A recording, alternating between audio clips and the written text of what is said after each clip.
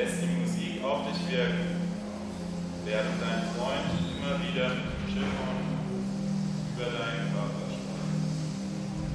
spricht.